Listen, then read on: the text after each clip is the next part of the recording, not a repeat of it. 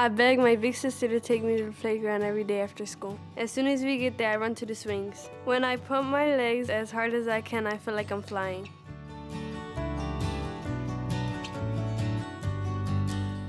The summer is the worst because I don't get to eat my school lunch.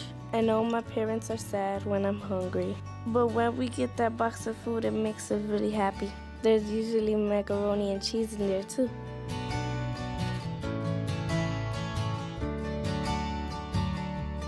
School is where I feel the smartest. I love to learn. Writing is my favorite subject.